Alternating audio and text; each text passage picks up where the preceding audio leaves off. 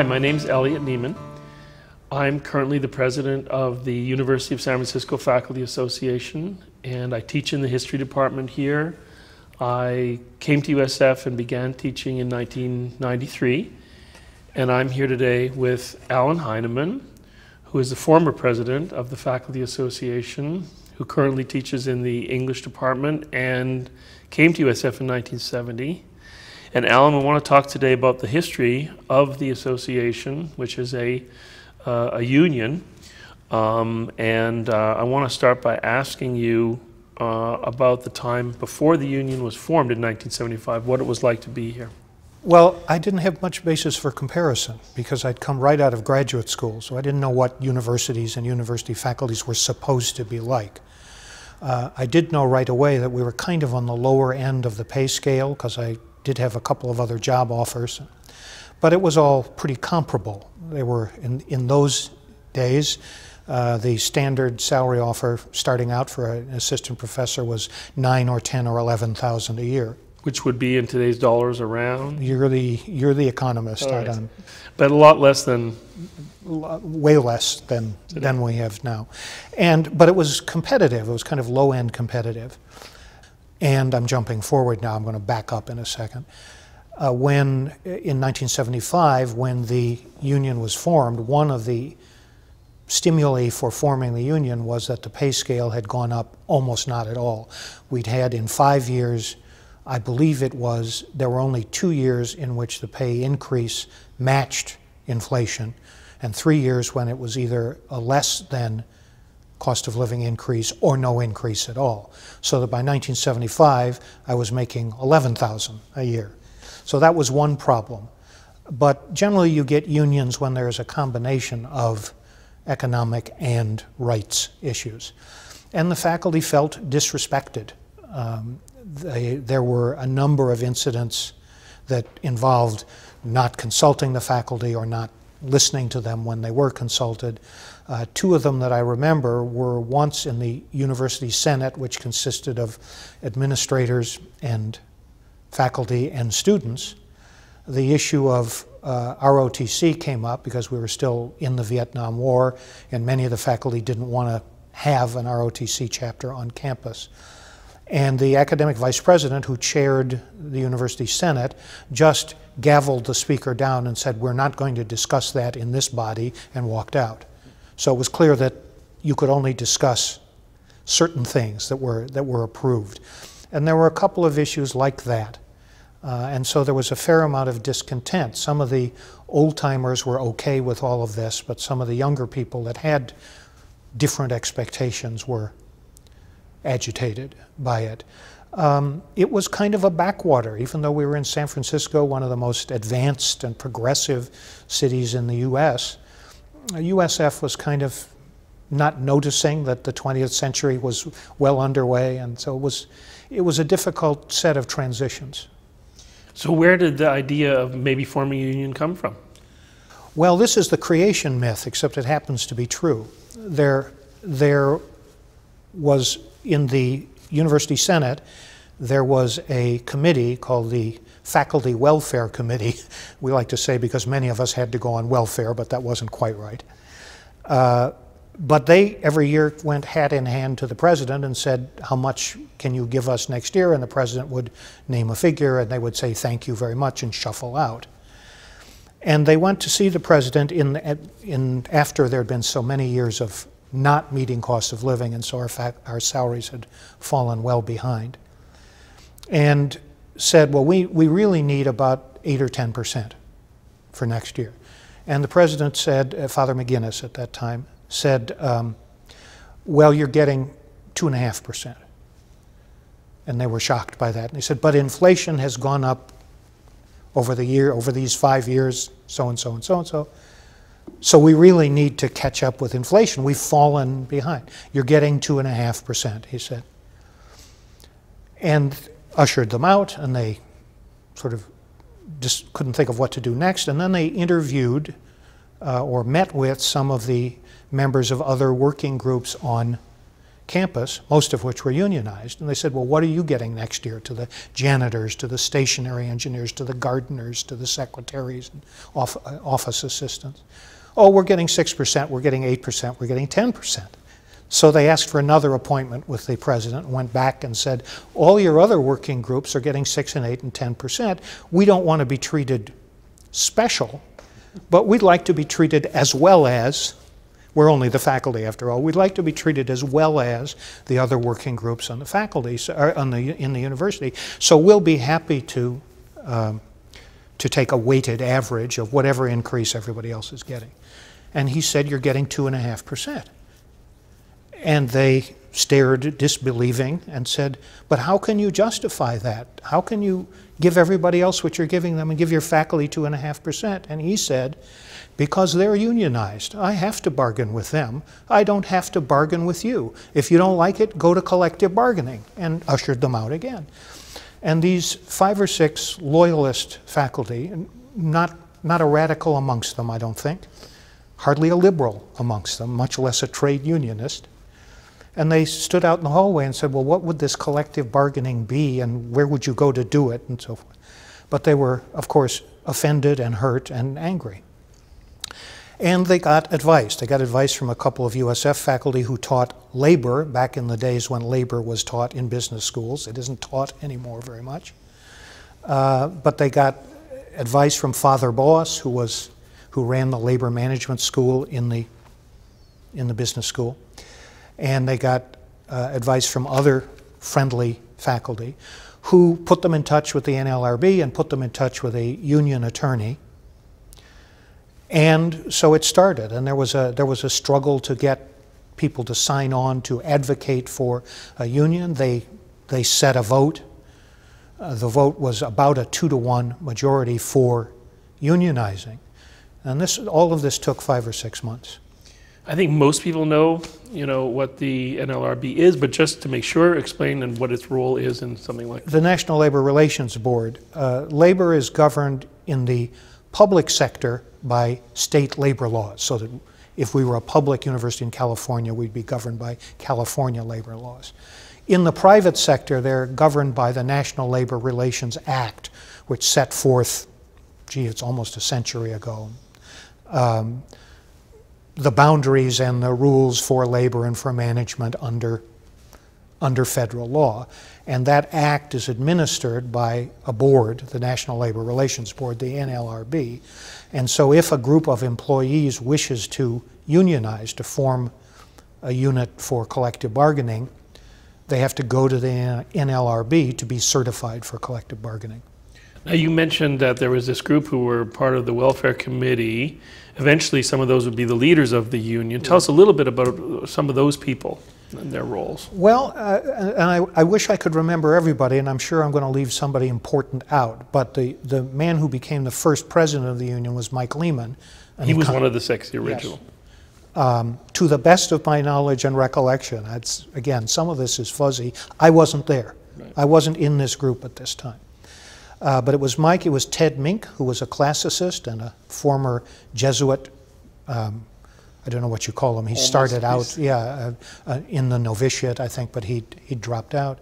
Jesse Machuchik, who was in his 60s and was this very elegant, very conservative classicist, Greek and Roman classics.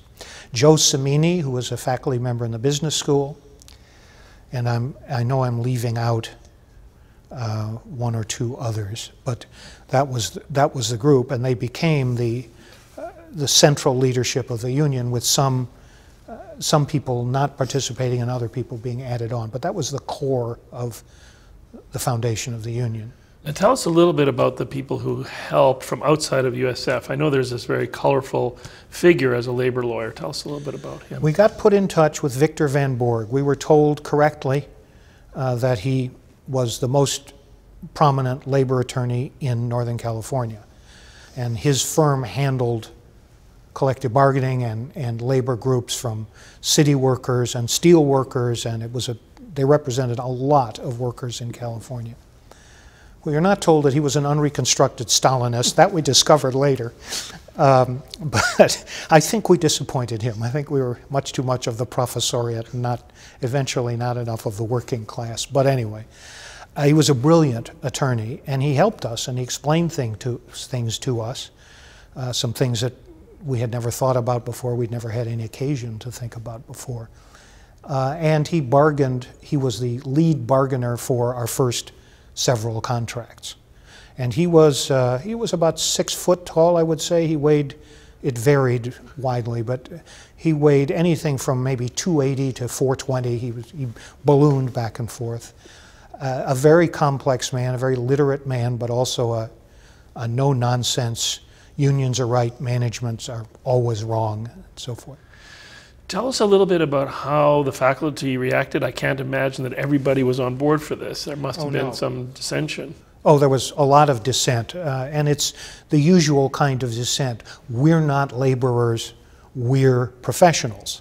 And what somebody said to me very early on, and as an English teacher, this is especially true in my case, and as a historian, I think also in yours. You think you're a professional? Go hang out a shingle, see how well you do. Uh, we're, so it became clear to many of us pretty quickly that we were salaried employees, that the university was our employer, and that we were at the service of an employer who paid our wages. That has never bothered me, but it bothers a lot of faculty who like to think of themselves as elite. Um, so was there an active opposition then? to people oh, try yes. to sabotage them? Oh yes, in, in all kinds of ways. And when Mike became first the chair of the steering committee before we even had a union and had a union structure, he was subjected to the most awful vilification. And you could understand it coming from the administration. It was hard to understand it coming from fellow faculty. But he was, there was a fair amount of anti-Semitism on campus in those days, and Mike, as a Jew, got the brunt of that, and I, as a Jew, got some of it. Um, there were people who just felt he, he, we were selling out the faculty, that the faculty really ran the university, even though recent history should have demonstrated very clearly that faculty did not run the university, yeah. but they, they couldn't um, they couldn't quite assimilate those facts. They were still living in sort of a vision of ideal academe, and we weren't there. And it, some people recognized that quickly, some people recognized it slowly, and some people never recognized it. So Mike was screamed at and hollered at, and, and uh, there, were, there was, uh, you know, papers got lost, turned up missing. Um, people leaned out windows when we were having public meeting, meetings and screamed at it, trying to disrupt it. And as I say, sometimes these were administrators, but sometimes they were other faculty. So tell us a little bit about the administration. Did they try to stop the vote from taking place? Did they try to spread, you know, uh, anti-union propaganda? they did. It. Uh, it. wasn't very effective. Uh, we were sometimes hurt and sometimes helped by the general inefficiency of the administration. Uh, for example, had they been more efficient, we wouldn't have been in the economic bind that we were in, because by 1975, the university was in some trouble economically. Mm -hmm. uh, they were also not very effective in disrupting organizing. They would hold little meetings with the faculty who they thought to be on their side and would feed them lines and feed them tactics. And of course, some of the faculty whom they thought to be on their side were in fact on our side and would report what, what had gone on. So we were, we were ready for most of what had happened, but it was still shocking to me that it became so deeply personalized and that um, you know, the, the university is, is and is supposed to be a place where you debate ideas, and that's good.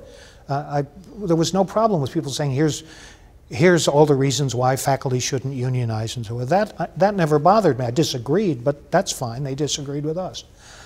What was hurtful was the vituperation, was the personal animus and the, I don't know everything that was behind it, but it was very unsettling. But it turns out when we, to jump ahead, when we took the unionization vote, as a, it was um, three or four to one for unionizing. It was an overwhelming majority. So those who caused disruption and trouble uh, on the faculty were not silenced, they were never silenced, but they were uh, pushed back by the great majority of the faculty who saw what was happening.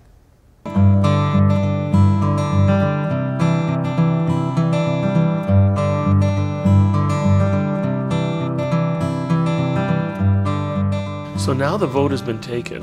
We're in 1975. Is this the point at which you get involved? And what else happens in that year before we get to the first contract? Well, several things happened. There was an initial vote to ask the NLRB to certify us. We win that. Then we hold the election. And to the best of my recollection, that was in the late fall of 1975. And we win that overwhelmingly. And so we're getting ready to bargain the first contract. Meanwhile, however, two things happen. One is I'm coming up for tenure. This is my tenure year. And I had been asked by the, a group of the probationary faculty, that is non tenured faculty. Let me back that up. There was a meeting of the probationary faculty in which they asked several people to run for union office. Their concern, quite reasonably, was that the senior faculty, when they bargained a contract, would protect their own rights and privileges and would sell out the younger and less secure faculty. I'm pleased to say that's never ever been the case with the union under three administrations, but I understand the worry about it. And so the probationary faculty held a meeting and asked several people if they would run for union positions on the policy board and the executive board, which is the five member executive group of the union that had just been, the bylaws had just been hammered out. And they asked me if I would run for executive board. I've never understood why. I didn't have any particular prominence on campus. I was nobody coming up for tenure. But something, maybe it was my long hair and weird pants or something, but um, they said, would you, would you run for executive board? I said, I can't possibly win, but sure. So the, we had the election, and the leading four members of the executive board won by overwhelming margins. And for the fifth position, mine, uh, I won by three votes over one of my colleagues who actually was a librarian. Uh, so that's how I got on the executive board. And now I'm in the leadership, and, and this is where my memory of what happens in the union is much sharper because I was present. I had really been outside. I had written a letter earlier on endorsing the formation of a union, but that was the extent of my involvement before. Now I'm in it. Uh, and so now we have to hammer out our bargaining demands, not really knowing what those should look like or what they were, how you did this, but Mr. Van Bourg helped us considerably. Meanwhile, in December of 1975, a faculty, and all faculty meeting is called by the administration on what has since come to be called Black Friday in December of 75. And we are informed that the university is in terrible financial trouble. Uh, it turns out that's true. And it had a long time getting out of it because the planning had been so poor and there was virtually no endowment and virtually no sophisticated budgeting. It was, the university was not ready to be in the 1970s, but there they were without the money to do so. Um, and so, therefore, they were notifying all 111 of the 280 full time faculty, all 111 probationary faculty out of the 280 total, that they were receiving layoff notices in the next week. Now, they weren't really going to fire all of us, they said, but because of the timely notice provision, they had to lay everybody off, and they'd tell us sometime later who was really getting fired and who was going to come back. As you may imagine, pandemonium set in. And I, I, clearly remember one of my senior colleagues, a sociologist, Ralph Lane, standing up and shaking his finger at the academic vice president and saying, Shame, shame, shame. Uh, and those who had been sitting on the fence for about unionism this pushed an awful lot of people into our camp because this was, of course, an outrageous action.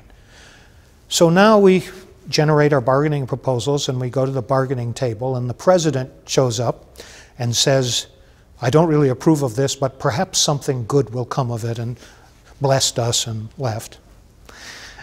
And no one had, none of us had asked him to come bless us, but anyway.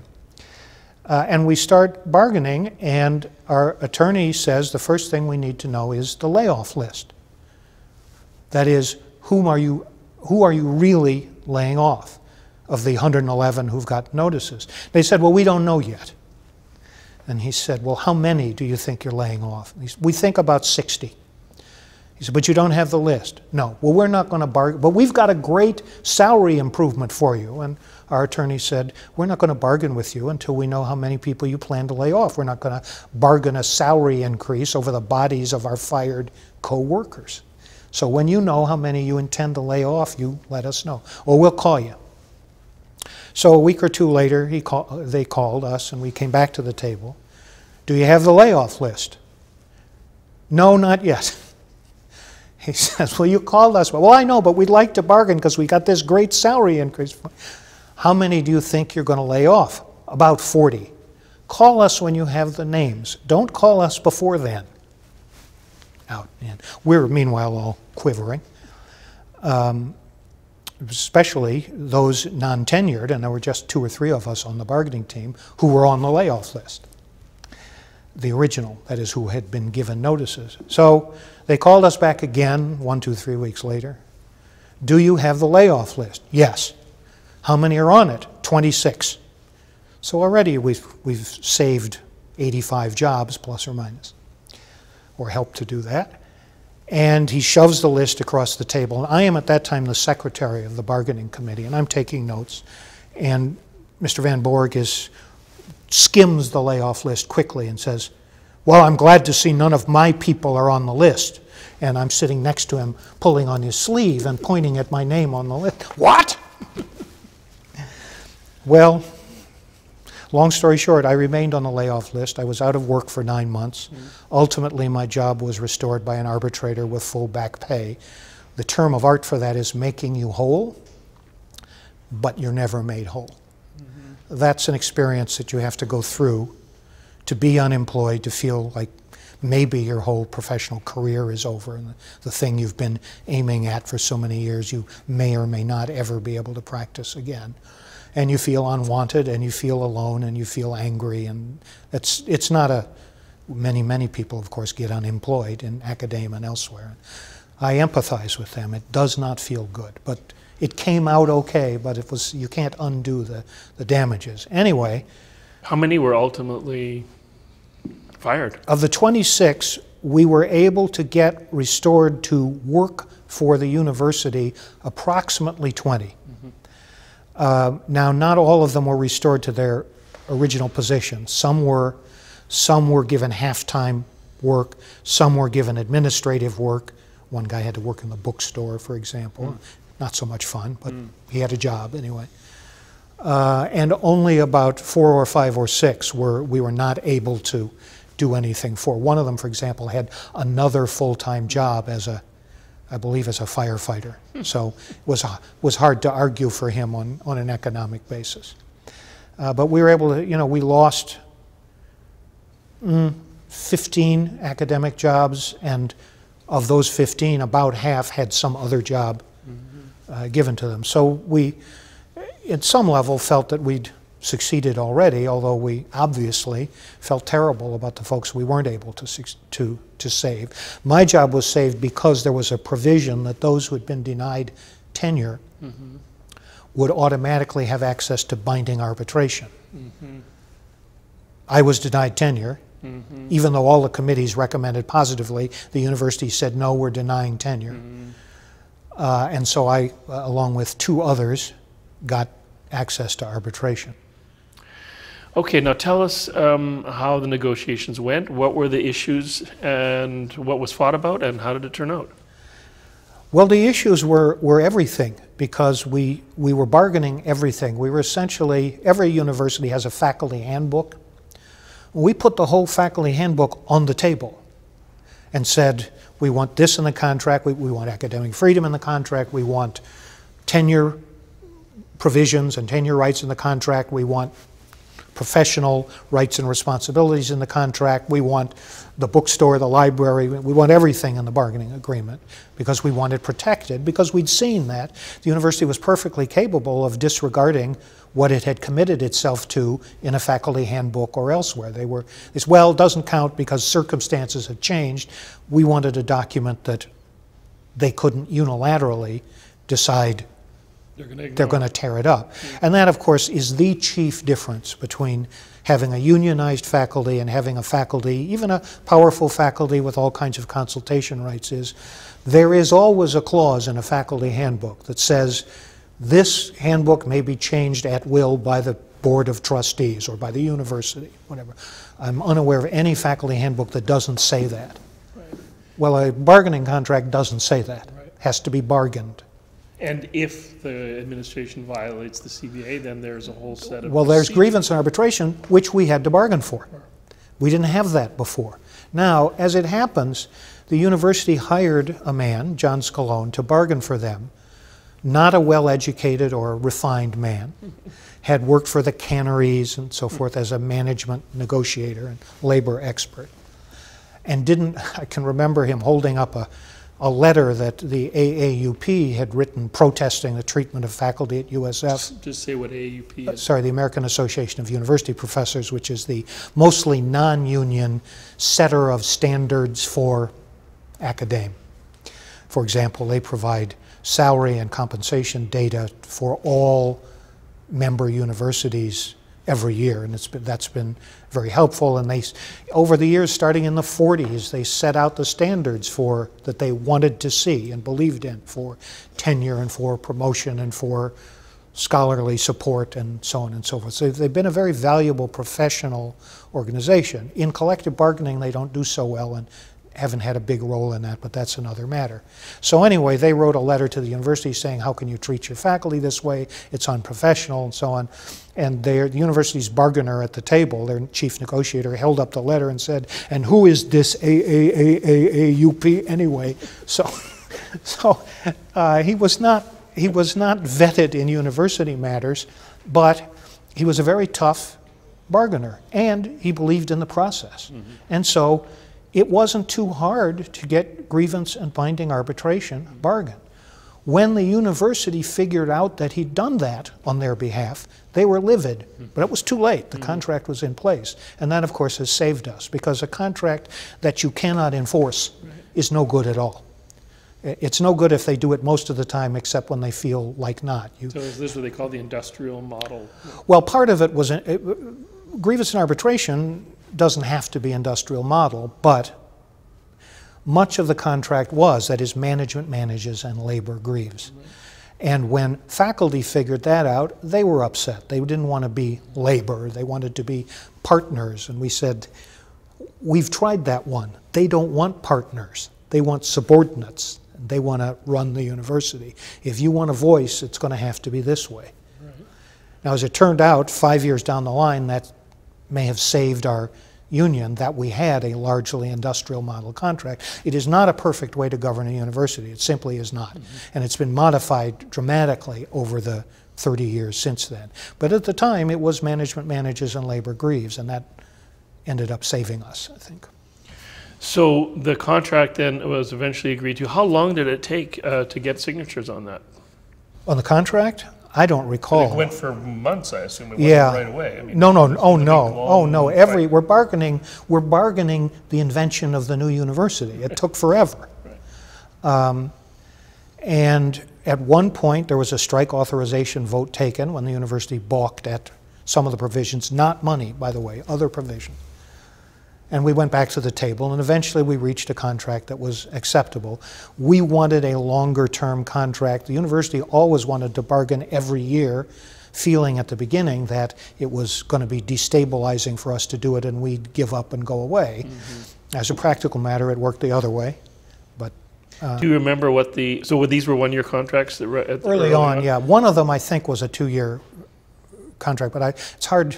This is, you're now asking me about things that happened nearly 40 years ago, so it's not all vivid for me. Do you remember the, what the salary increase was or around? It was a reasonably, yeah, it was a reasonably high increase given where we were. I think it was an 8 or 10% increase. So we were brought back into, into shouting range of other universities in those days. Our mantra used to be, Yeah. Excuse me, uh, our mantra used to be, oh, dear God, let us someday catch up with the California State University salary scale. Well, I'm sorry to say that, I'm glad to say for us, Right. and I'm sorry for California, that We have left the California state scale in the dust. We're now in line with where we ought to be with the major universities in the state.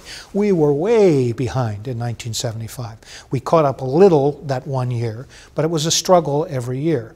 And part of the thing we didn't get was that there's also a salary step each faculty member gets a small increase every year until she or he reaches the top step of that rank, and then you're stuck there. You get then you get only the cost of living increase until, unless and until you get promoted, and then you got a few more steps. And there are only three ranks and a few steps. So in lieu of a one-time pay increase, you Right. divide it into pieces. Correct, correct. So there's cost of living increase and there's a step increase.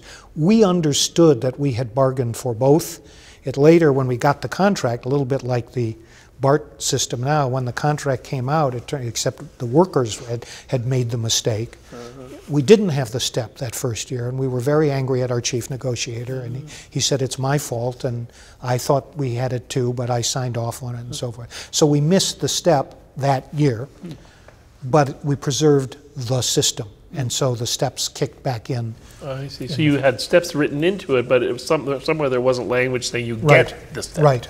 When they said the 1970, whatever, 76, 77 increase shall be, the steps weren't mentioned. We thought they were explicit, but it turns out not. So That's why Eric you and the librarian, always says "and steps." That's right. Every time we bargain. that's Okay. right. That's right.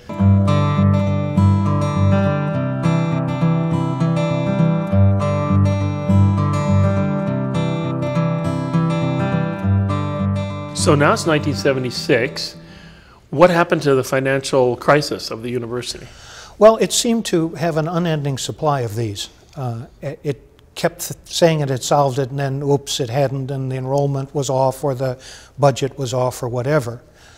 And the problem was, on the one hand, the union kept being accused of jeopardizing the financial status of the university.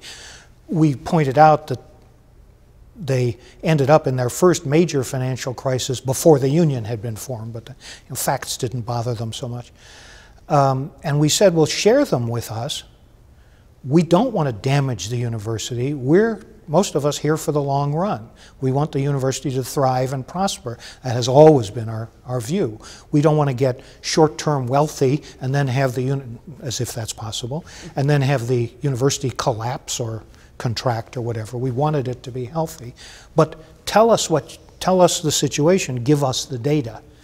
Oh, we can't do that. That would be terrible. So we said, okay, well, then we'll assume you're lying then, uh, and, which was generally a pretty good bet. Uh, so it, it stumbled along, and they, they brought in outside managers who had no connection with universities. Some guy who'd run a train system, and somebody else who'd run a, I, I don't know. Um, and so, of course, they didn't manage the university very well, and so we kept tripping and stumbling and not having enough money.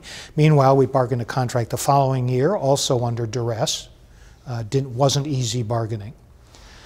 And then we hit 1978, so we're three years in, two or three years in.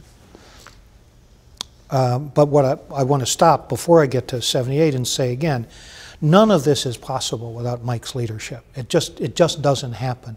How he developed thick enough skin to stand what people said about him and did to him over and over and over again. I will never know. I know that I could not have done it. I'm very clear on that. I would have walked away, particularly when my colleagues, if my colleagues had assaulted me. Uh, We know he has very thick skin, so I wonder what cause and effect. Did he already have it, or did it become because of it? I don't know. I, it's, it's a fair question. You should ask him. Um, but it was it, it was kind of a constant. There were brush fires all the time. Somebody got fired. Some and they in those days they made terrible tenure and promotion decisions. It just, well, I, I like him. Okay, let's give it to him. And there was no sound process, and so we had to grieve. Many, And no peer review in those days, right? We'll get to that later. Um, or a different right. kind of peer review. correct. Correct. Yeah. So he. So it was kind of just the administration said, "We'll give it to you," and and and and there was no recourse. Is that right? At, at that time. Now there, now there was, yeah, that's right. Uh, that's, we're out of, we're outside peer review for about 10 years, from about the late 70s to 19, uh, to 88, 89, when it comes back in a limited form. All right, we'll come back to that. So Yeah. we're now we're in the mid 70s Yeah. still. So, and, and the other sore spot for a number of a lot of faculty, and this is another thing neither side got at the time, the two negotiators put it together. The contract made the faculty, full time faculty, a union shop. That is, membership in the union was not voluntary, it was required. And once again, when the, when the management figured out they'd done that, they were really mad at their negotiator. It saved us endless organizing and endless putting out fires. Uh, and, and it was invaluable to us. We didn't, we didn't understand it at the time. Uh, but it was, Victor is still there advising. yes, yeah. I couldn't tell you the year in which Mike takes over as chief negotiator. It's several years down the road.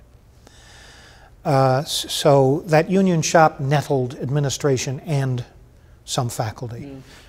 Uh, some years after that, in fact, about 10 years after that, we bargained a partial escape clause, which is almost never used. Most faculty are perfectly comfortable with, by now, with having to be in a union. And of course, when they're hired, every single interviewee is told this is a compulsory union membership.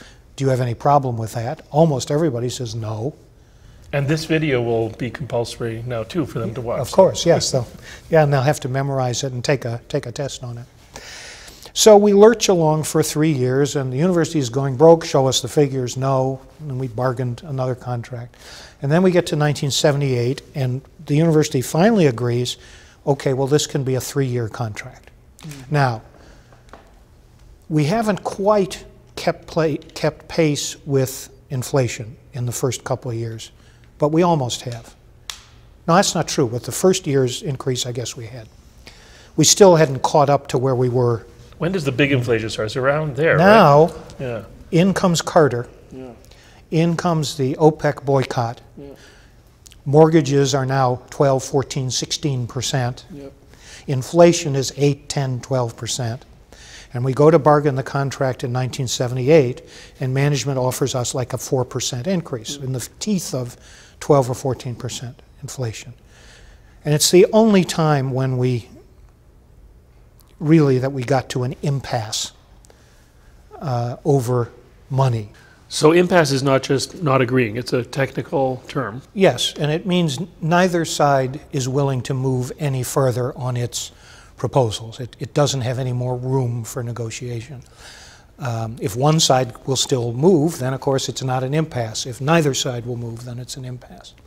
So we reached impasse, and the university said, we're going to give you a drop dead date, August something, August 1st or whatever it was. And if you haven't signed off on the contract, on our proposals by then, we're going to completely eliminate the fall 1978 academic schedule.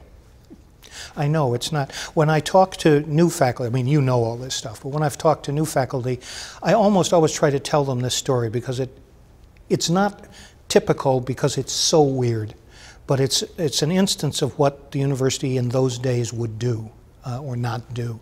And it just, unless you were there, you can't believe it because it's so stupid and so counterproductive. But there are many incidents, this being, I think, the most egregious, certainly one of them. So we're going to cancel the schedule, and every student, undergraduate student, will take, and every faculty member, full time faculty member, will teach one course for three weeks, five days a week for some number of hours to make up the appropriate number of hours for a three unit course. And you'll do that, and then we'll have the next modular unit, and another, each student will take, and each faculty member will teach one course for three weeks and so forth. And our pupils are dilating. We can't really believe what we're hearing. And finally, Van Bourg said, But that's preposterous. No university in America would do this. They said, Oh, no, they've had very good luck with it. They're very happy with it at at Cornell. Some months or weeks later, we discovered that they meant Cornell College in Iowa, but never mind. Um, and we said, look, why are this doesn't make any sense. You're punishing, you're not punishing us. We have to show up in classroom for the same number of hours, however you cut it, but you can't teach courses in three weeks. Some perhaps you can, but most you can't. So you're punishing the students. Why are you doing this? It doesn't make any sense at all. If you want to get back at us, get back at us. Why are you hammering the students?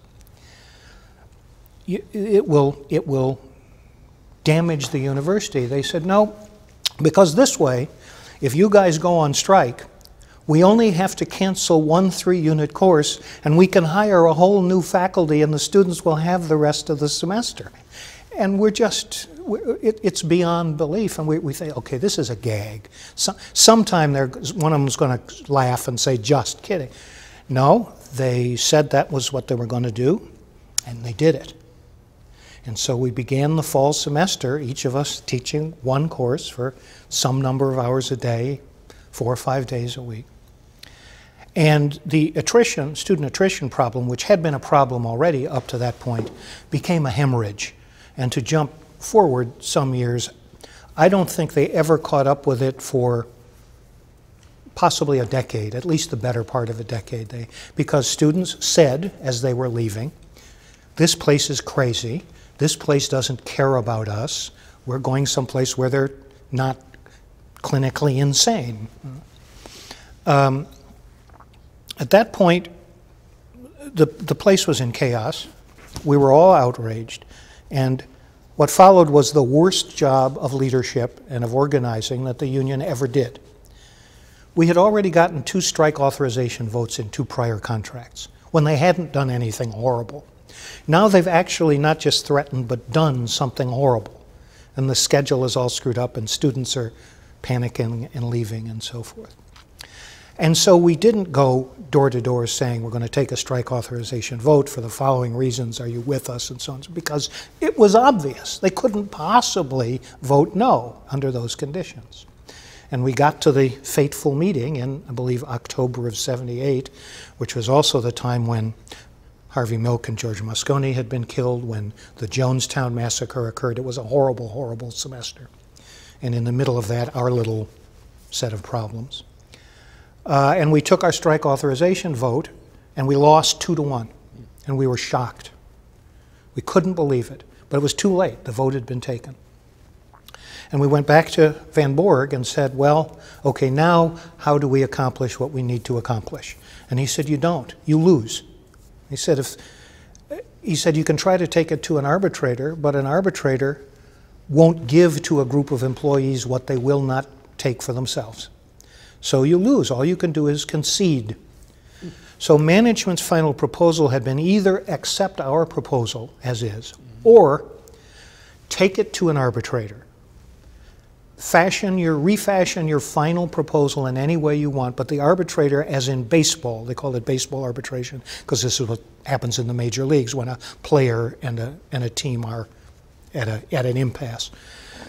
The arbitrator is allowed to take only one side or the other solution in toto. The arbitrator cannot fashion a remedy split the difference make a compromise. It's either or.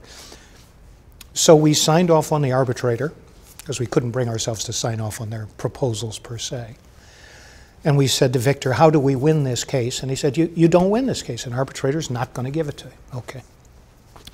Sometime, and I've, I've gotten the details wrong here, but I think it's Victor who, Van Bourg who calls Mike Lehman in the middle of the night, a couple of weeks down the road, as we're about to have to go present our final proposals to the arbitrator to choose. And he said, Victor said to Mike, I have an idea. I don't think it will work, but it's worth trying. Shoot. Well, we've been bargaining a three year contract right along. Right. No arbitrator is going to give you your three year proposal in preference to management's three year proposal because you wouldn't do what you needed to do. Mm -hmm. But if you gave an arbitrator a one year proposal, and those guys give him a three year proposal, he may be willing to punish them for one year rather than you for three. Well, that's a good idea, we said. So we did it, and it worked. And we, when they opened the two proposals, the Scalone, the university's arbitrator, went out of his mind. You can't do this. We said three years. We said three. And we showed him the language of the agreement, which said you can refashion your proposal in any way, whatever. But we've always been saying three years. we won that. Now we lost the second two years, uh, but we still saved that we had that we had the right increase in the first year, so we were able to mitigate the below CPI increases in the second and third year. Um, but it took one faculty member filed a grievance claiming that he was kidnapped and held against his will in the dean's office because he had said something in class about the crazy university or the crazy administration, whatever. I mean, it was, it's funny now, but it was horrible. I mean, it was just horrible because it showed us that those running the university really would do anything to win. They didn't care about education, about a good faculty, about, about the students. They just didn't care.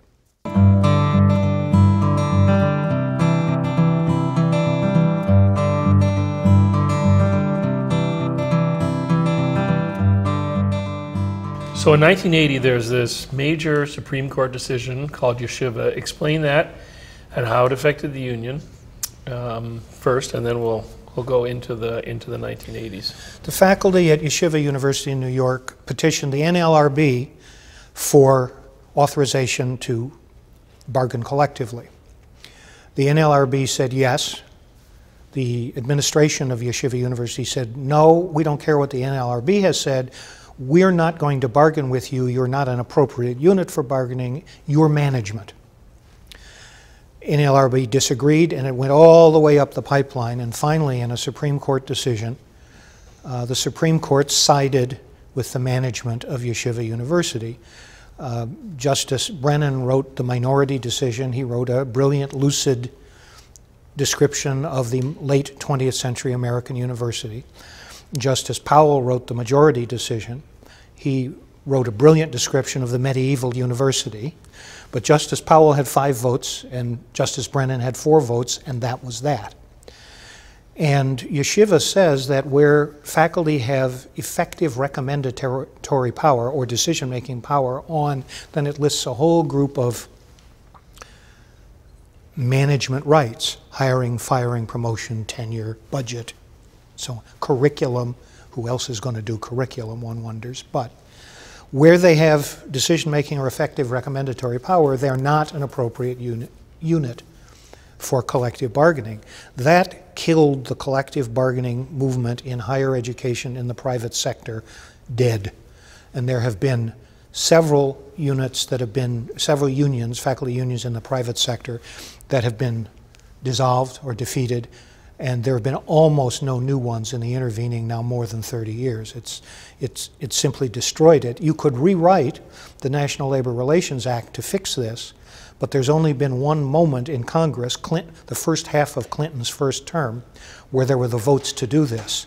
And by the time that was ready to be presented, you had the Gingrich victory, and it couldn't any longer be changed. So it had a chilling effect all across universities. It had a chilling effect on us. But because we had unknowingly, really, bargained an industrial model contract, it really was not a danger to us because we'd given up all of those rights. So then, what were the repercussions for USF? Well, there weren't any at the time, and there never have been. Uh, at the time, because we had bargained an industrial model contract, it really wasn't vulnerable to that kind of approach. Doesn't say the administration couldn't have tried it, but we don't think they would have succeeded at that point.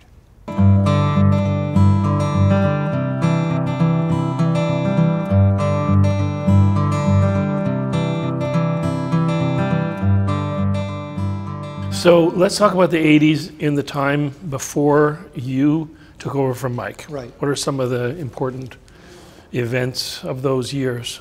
Well, again, the union is solidifying. Its its um, its organizational powers are growing. And Mike and the executive board really did a fine job with holding us together and holding us in place. And and I was I had been on the executive board all of that time. I started out as the lowly secretary, and then at some point I think I was sergeant at arms. I don't know what that means uh, and then became vice president, so on during this time. And Mike really had done a great job in, in keeping us together because we were subject to relentless attacks by the administration, one way and another, and I won't go into all of them. Uh, the most egregious after the infamous modular system, the most egregious was when, I think it was 1981, they suddenly decided they were not going to take cases to the arbitrator anymore. The contract gave us a permanent named arbitrator, whom we both had agreed on. The university said they had lost confidence in the arbitrator. We have no idea why. Um, nothing they said made any sense. And in fact, if you did a tally of all the arbitration cases that he'd heard, it was something like he'd ruled for the university in 18 of them and for the union in 12 or 14 of them and had kind of split the baby in the rest. So they were winning way more than they were losing, but I guess they wanted to win them all. So they didn't want to take a case to the arbitrator. The problem was there was a contract between the university, the arbitrator, and the faculty association. And as we pointed out to them, they couldn't just rip it up. And they said, well, we're going to have to rip it up because the arbitrator is corrupt. So the arbitrator sued them for breach of contract and whatever it was libel or slander or defamation of character. We sued them for a breach of contract. The arbitrator ultimately won his lawsuit, and he was issued a public letter of apology and $50,000, uh, 80, $150,000 is what it was. And we said, you can skip the letter of apology, we'll take the 150,000.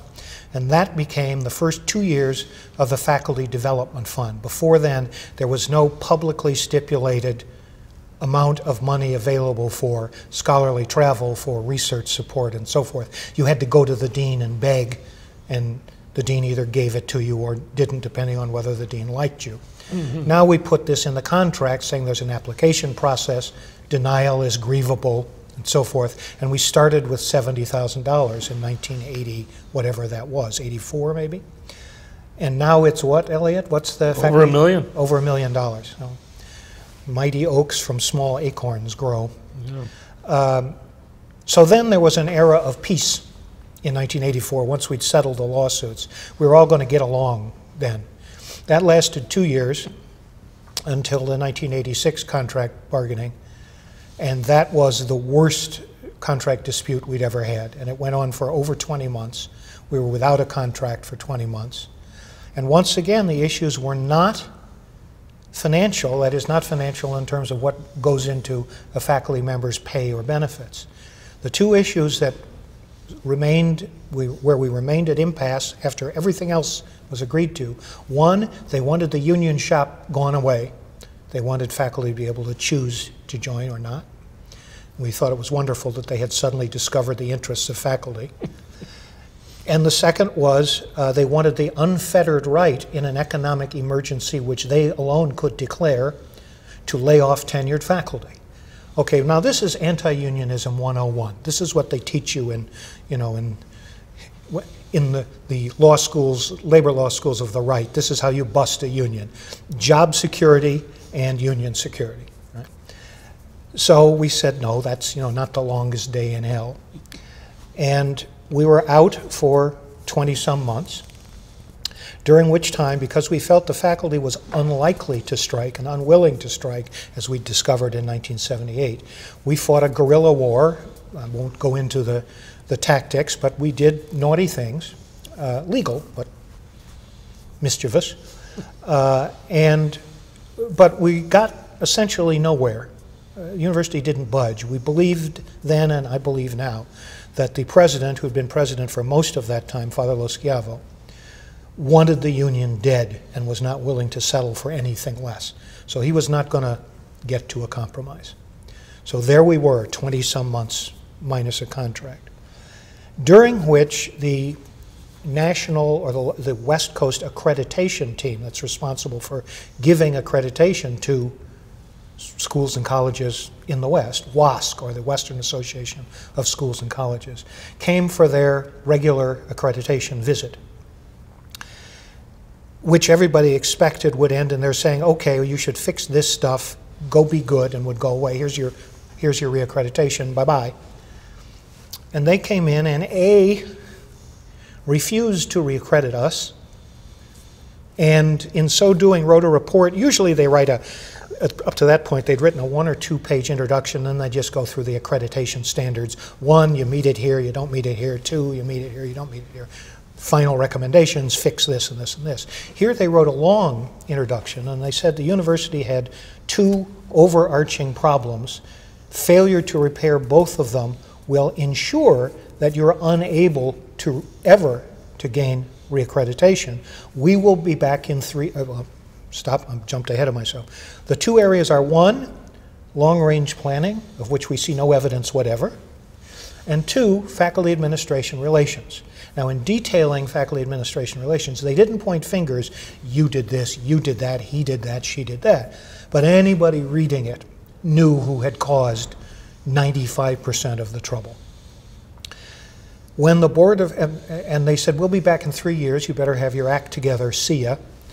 And when the board of trustees got this failure to reaccredit, they finally got what we'd been trying to tell them for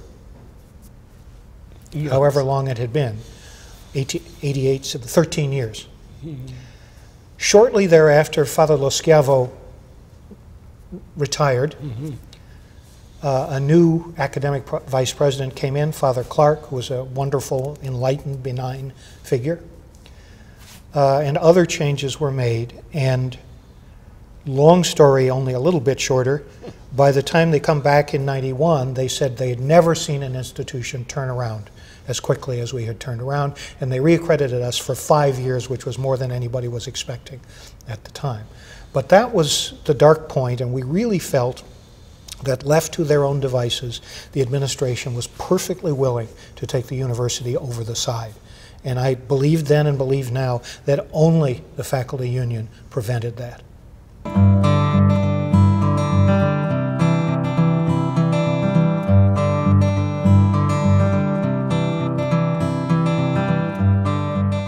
So you have this brutal two-year battle, and at the end of it, Mike steps down. How did that happen? Well, it was brutal. I mean, I, I haven't described, I think, the flavor of life on campus between 86 and 88, and it was awful. It was, and I didn't want to come to work a lot of days. It was so, faculty were totally demoralized. They just felt, again, that the university did not care about them and didn't care about its mission to educate. It just wanted to win. And an awful lot of things had been destroyed or badly damaged. I don't mean physically, in the process. But ultimately, the accreditation agency was the straw that broke the trustees' back. And we had this victory, at which point Mike called us together, called the executive board together, and he said, You know, I always intended to retire from the presidency after we bargained the 86 contract. I just didn't think it was going to take us two years to do. But now I'm really done, I'm tired, and it's time for somebody else to take over. And Alan, it's you. And I went, oh, oh, really? Wait, you know, which Alan do you have in mind? Uh, I mean, I was vice president, so there was a kind of logic to it, but I truly had, had not wanted it. My wife had to talk me into it ultimately. Uh, it seemed like too big a burden and so on. And it is, as you know, a burden. Also, many pleasures in it, but it's hard work and often frustrating. Um, so we had an election. It was not unanimous. There was, again, one of the let's get rid of the union boys and get some old fashioned faculty back in charge. Uh, was a gentleman from the economics department ran against me, but he, I won comfortably, if not overwhelmingly. Uh, and then we had to figure out what to do next. Now, what helped us enormously was that, as I may have already said, they appointed a new provost, Father Clark. And I was sitting in my tiny little faculty office uh, on the fifth floor of University Center one afternoon, not long after I'd been elected, and there was a very timid little knock on the door. Got to be a student who wants an extension for a paper. Right? The door opens, it's Father Clark. Ellen, would you mind if I came in? I said, please. First time any major administrator had sought out the union leader to, to talk seriously. And Father Clark said, Alan, tell me what the university looks like from your point of view. And I said, You sure you want to know? Have you got a couple hours? Is your chair comfortable? He said, Fire away. And I unloaded. I talked about all of the mismanagement that had occurred from our point of view and the foolish damage that had been caused by by this mismanagement. And I said candidly, you know, the union has some of the blame, but the administration has the overwhelming share of the blame. We want the university to thrive and prosper. We want USF to do well. I'm not sure all of the administrators on the other side have the same goal. In any case, they haven't behaved that way. And he's and so I had I described the university as I saw it, and he's nodded and he said, "Alan, sounds about right to me, but you and I are going to fix it. The war is over." And I said, "Great. That's all we've ever wanted." And over time, because we were very, very different personalities, he was shy and retiring and thoughtful and meditative, and I'm loud and obnoxious. And, and I don't think Father Clark is Jewish or was Jewish, although I'm not sure. So there was a kind of a cultural divide, which was very quickly bridged, and we formed, I think, a very, very good working relationship. And piece by piece by piece. I mean, first we had to persuade people that they weren't going to put down their weapons and then get sniped. You know, so we had to reassure people and so on. Uh, and then came time to bargain the 88 contract already, or the 89, whatever it was. And at that point, WASC had issued its, issued its report and had said the faculty is no longer collegial and it needs to be collegial. Now, WASC did not understand collective bargaining and frankly was hostile to collective bargaining. So they didn't get it, but that's what they said. So the university came to us with some proposals about giving the faculty more, not real power, it never is, but more consultative role, including restoring peer review, which we had not had for a decade. And it was the university administration that was insisting on this, and it's we who were resisting it. And we said, partly we're resisting it on principle. I, I don't think peer review is a great idea. I never have. I'd be happier without it, but that's, and I think we did fine without it. But anyway. That's another story. It makes me a heretic among my professional colleagues, but that's what I think. Um, but also, the more consultative rights we had, the more we were backing into the yeshiva propeller. You can't have those rights, you'll be decertified. And we said, if we're going to bargain these with you, we have to have in the contract something that says you won't invoke yeshiva.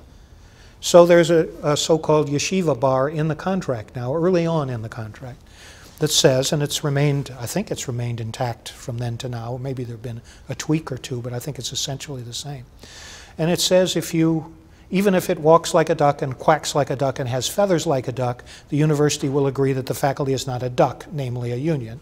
Uh, namely a management, and therefore is not going to interfere with your right to bargain collectively. So that allowed us to bargain some collegial and collaborative procedures and states of the faculty and so forth. And that took a long time because everybody was leery of it. So that was a lot of the first, I don't know, decades work.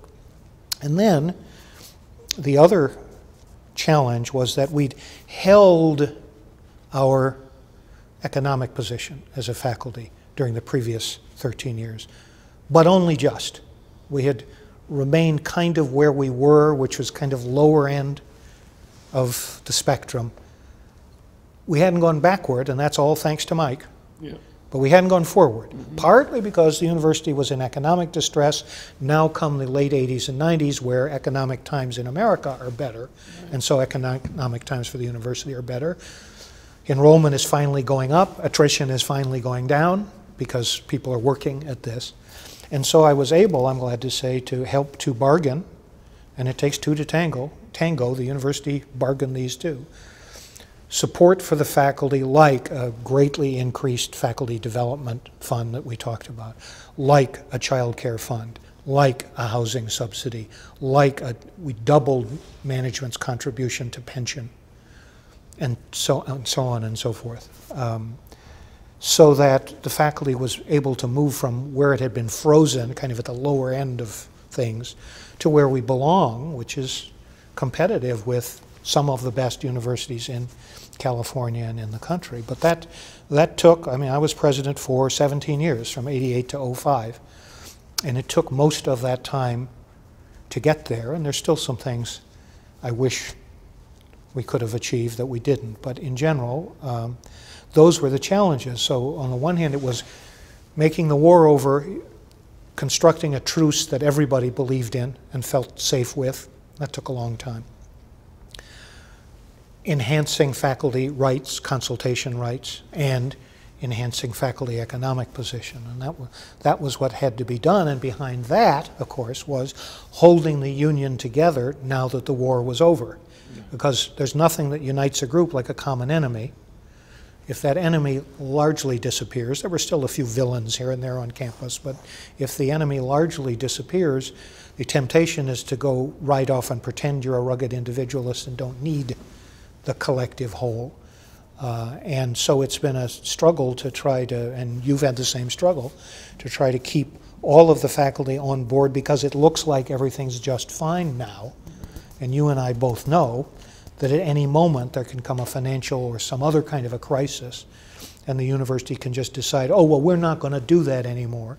And if you don't have a binding contract that's enforceable, you're helpless. But I have to say that the last two presidents have been uh, they've USF been presidents. USF presidents, yes. Uh, thank you. Have been um, have not been hostile to the union. Well, you can talk about your experience. I will say that the uh, the president who came in in was it 90 or 91, Father Schlegel, yeah. who was there for a decade. So he was there for most of the rest of my term, and then Father most of my term, and then Father Privett came in for the last three or four years.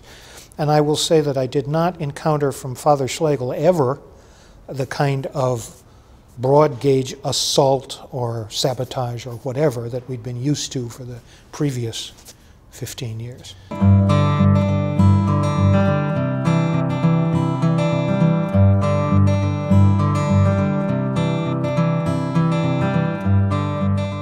So before we leave the accomplishments, of which there are many of your years behind, is there anything else that you want to add to the list? I'd mention a couple of things. One is we managed to stave off the worst of the health care burden that's imposed on most employees. We, we pay some, more than I would like, but much less than most employees. And we've preserved both the Kaiser and Blue Cross options. So that's, uh, we didn't achieve that, but we kept it. We didn't achieve those benefits, but we kept them. But I think uh, you may also be thinking about the sabbatical leave provision, which used to be 50% uh, paying you uh, full salary if you took one semester off, but only 50% if you pay if you took two semesters off. That is, you'd get a salary's a, a semester's pay whether you took one semester or two. Well, in this day and age, or anything you know for the last 30 years, you can't live on half salary. Now, I have to give credit here, as I should, to so many folks on the faculty who have pushed ideas at us, on us, that we hadn't thought of.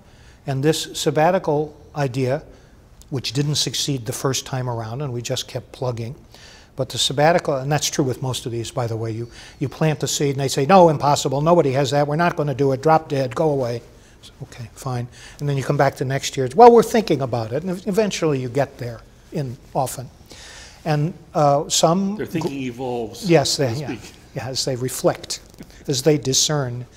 So uh, some faculty member or members said you ought to have more subsidy for uh, for sabbatical leave because younger faculty especially simply can't afford to take a year off, but it's a very valuable time. Mm -hmm. And ultimately we proposed 75% annual pay for a year's leave. And the result has been, I'd love it to be 100. I mean, that's one of the things I didn't get to, but We're trying. but at least it's yeah, but but at least it's 75, and so you can live on that for many people can live many more people can live on that for a year, and so we've had a lot of very very the scholarship among the faculty, and I sent you those figures from a few years ago that it's articles, books, whatever between the beginning of the union and today quadrupled, quintupled, I forget what the numbers are. And a lot of that is due to the increased support, including the Faculty Development Fund and the 75% pay for a year's sabbatical. So I'm very pleased that that occurred. I, proud suggest I did it, but in fact, we did it. and the union did it. Yeah. Um, and it, that one didn't come from us. The child care provision did not come from us originally, though I fought the good fight for it. We, we didn't get the child care center on campus built, but we got more money for child care. Uh, And and the promise is still in the contract. I know, they say they're going to do it, but you and I won't live that long. So, So, looking back now, when you think of the way things were when the union was founded, and you look at the way things now, what strikes you about what has changed? And to finish off, what are for you the headwinds and what are for you the tailwinds facing USF? well, that's a big question. Because the university has changed two or three different times since I've been here. Starts out as a kind of a backwater, then it becomes kind of a poly, uh, polyglot mix in the, in the 60s. Then it hits financial crises and things get cut back. And for example, there were 10 years of deferred maintenance on campus, and the place looked like a slum during the 80s. It was just embarrassing. Oh, save money, save money, save money. And we kept saying, don't you understand that if you save a dollar now, you're going to lose $3 in tuition down the road? No. Uh, so, and then, then we were able to gradually build up the faculty, and of course, every enhancement of the faculty positions here research support, teaching support, everything means that we can hire better and better and better faculty.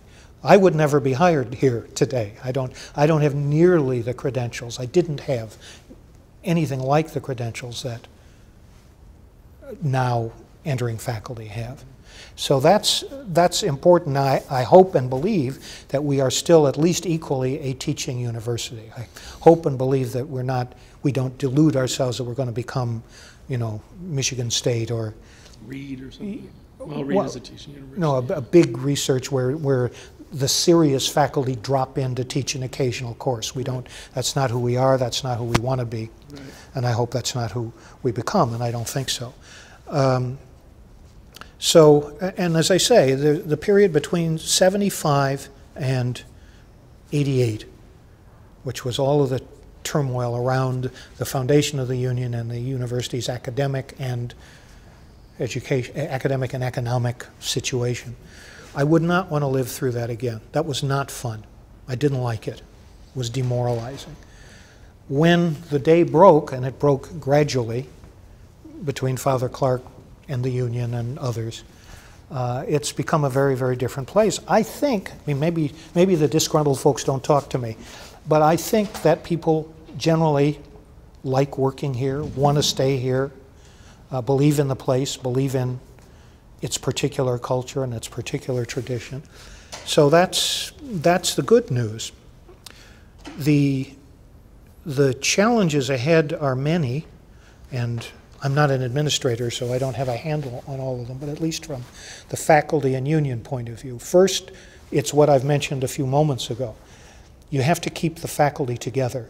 It was thrilling when we had a common enemy because the faculty linked arms and walked forward together. Now, what was happening was not thrilling, but the sense of cohesion and mutual support.